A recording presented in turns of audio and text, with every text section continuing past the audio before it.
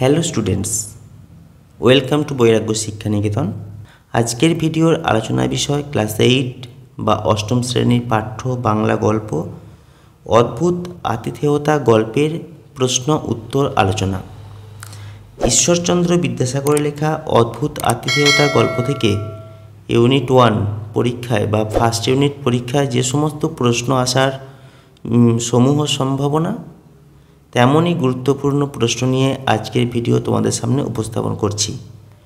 যেসব ছাত্রছাত্রী ক্লাস এইটে পড়ো, তারা অবশ্যই আজকের এই ভিডিওটি অত্যন্ত মনোযোগ সহকারে দেখো। এই প্রশ্ন উত্তরের আলোচনা খাতায় লিখে রাখো। এইগুলি থেকেই তোমরা পরীক্ষায় কমন পেয়ে যাবে। হান্ড্রেড পার্সেন্ট কমন পেয়ে যাবে। তাহলে চলো আজকের আলোচনা শুরু করি। অদ্ভুত আতিথেয়তা, এই গল্পের আজকের প্রথম প্রশ্ন। অদ্ভুত আতিথেয়তা গল্পের উৎস লেখো। উত্তর হবে, ঈশ্বরচন্দ্র বিদ্যাসাগরের লেখা আখ্যান মঞ্জরি গ্রন্থ থেকে অদ্ভুত আতিথেয়তা গল্পটি নেওয়া হয়েছে। পরের প্রশ্ন, অদ্ভুত আতিথেয়তা গল্পে কোন দুই জাতির কথা বলা হয়েছে? উত্তর হবে আরব জাতি এবং মুর জাতি, এই দুটি জাতির কথা বলা হয়েছে। পরের প্রশ্ন, কে কেন প্রাণ ভয়ে দ্রুতবেগে পলায়ন করছিল? উত্তর হবে মুর সেনাপতি প্রাণ ভয়ে পলায়ন করছিলেন। আরব দিগের সাথে মুর দিগের যুদ্ধ হচ্ছিল। আরব সেনাপতি মুর সেনাপতিকে হত্যার জন্য অনুসরণ করলে মুর সেনাপতি প্রাণ ভয়ে ভীত হয়েছিলেন এবং অশ্বে আরোহণ করে দ্রুতবেগে পলায়ন করছিলেন। পরের প্রশ্ন, মোর সেনাপতি কেন বিপক্ষের শিবির সন্নিবেশ স্থানে উপস্থিত হলেন? উত্তর হবে আরব সেনাপতি, মোর সেনাপতিকে হত্যার জন্য অনুসরণ করলে মোর সেনাপতি প্রাণ ভয়ে পলায়নের সময়ে দিকভ্রষ্ট হয়ে বিপক্ষের শিবির সন্নিবেশ স্থানে উপস্থিত হয়েছিলেন এবং আশ্রয় প্রার্থনা করেছিলেন। পরের প্রশ্ন, পৃথিবীতে কোনো জাতি আরব দিগের তুল্য নহে, এ কথা কেন বলা হয়েছে? উত্তর হবে, কোনো ব্যক্তি অতিথিভাবে আরব দিগের আলোয়ে উপস্থিত হলে আরবরা সাধ্য অনুসারে তার পরিচর্যা করেন। উপস্থিত ব্যক্তি শত্রু হলেও আরবরা তার প্রতি অনুমাত্র অনাদর বা বিদ্বেষপূর্ণ আচরণ করে না।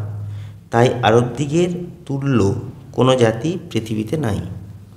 পরে প্রশ্ন, মুর সেনাপতি আরব সেনাপতির কাছে আশ্রয় প্রার্থনা করলে আরব সেনাপতি কি করেছিলেন? উত্তর হবে আরব সেনাপতি তৎক্ষণাৎ তাকে আশ্রয় দিয়েছিলেন এবং তাকে ক্লান্ত এবং ক্ষুধার্ত দেখে তার আহারের ব্যবস্থা করে দিয়েছিলেন। পরের প্রশ্ন, উভয় সেনাপতির মধ্যে কোন বিষয়ে কথোপকথন হয়েছিল? উত্তর হবে মোর সেনাপতির ক্ষুধা এবং তৃষ্ণা পরিতৃপ্ত হলে আরব সেনাপতির সাথে তিনি বন্ধুভাবে কথোপকথন করেছিলেন। তারা পরস্পর নিজ নিজ পূর্বপুরুষদের সাহস, পরাক্রম এবং সংগ্রাম কৌশল বিষয়ে কথা বলেছিলেন। পরের প্রশ্ন, সহসা আরব সেনাপতির মুখ বিবর্ণ হলো কেন? উত্তর হবে, মোর সেনাপতি এবং আরব সেনাপতি তাদের পূর্বপুরুষদিগের সাহস এবং সংগ্রাম কৌশল বিষয়ে কথোপকথনের সময়ে আরব সেনাপতি জানতে পারলেন তাঁর সম্মুখে উপবিষ্ট মোর সেনাপতি, তার পিতার হত্যাকারী। তাই তার মুখ বিবর্ণ হয়েছিল। পরে প্রশ্ন, আরব সেনাপতির মুখ বিবর্ণ হওয়ার পরে কি ঘটেছিল? উত্তর হবে, আরব সেনাপতি যখন জানতে পারলেন যে মোর সেনাপতি তার পিতাকে হত্যা করেছেন, তিনি বিবর্ণ মুখে মোর সেনাপতির সঙ্গ পরিত্যাগ করলেন এবং পরিচারকের দ্বারা খবর পাঠালেন তার অতিশয় অসুখ বোধ হচ্ছে এবং তিনি উপস্থিত থেকে মোর সেনাপতির পরিচর্যা করতে পারবেন না। পরের প্রশ্ন তৎবিষয়ে যথোপযুক্ত আনুকূল্য করিব। কে বলেছিল? কেন বলেছিল? উত্তর হবে, আরব সেনাপতি মোর সেনাপতিকে উক্ত কথাটি বলেছিল। প্যারা চেঞ্জ করে লিখবে, আরব সেনাপতি মোর সেনাপতির পলায়নে সাহায্য করার কথা বলেছিলেন। তিনি মোর সেনাপতিকে এক দ্রুতগামী, তেজস্বী অশ্ব দেবেন, যাতে তিনি নিরাপদে নিজের শিবিরে পৌঁছাতে পারেন। পরে প্রশ্ন, সন্দিহান চিত্তে শয়ন করিলেন, কে, কেন সন্দিহান চিত্ত হয়েছিল? উত্তর হবে, আরব সেনাপতির কথায় এবং আচরণে মোর সেনাপতি সন্দিহান চিত্ত হয়েছিলেন। মোর সেনাপতি এবং আরব সেনাপতি যখন কথোপকথন করছিলেন তখন হঠাৎ আরব সেনাপতি সেই স্থান থেকে প্রস্থান করলেন এবং পরিচারকের দ্বারা খবর পাঠালেন, সেই রাতে তিনি মোর সেনাপতির সাথে দেখা করতে পারবেন না।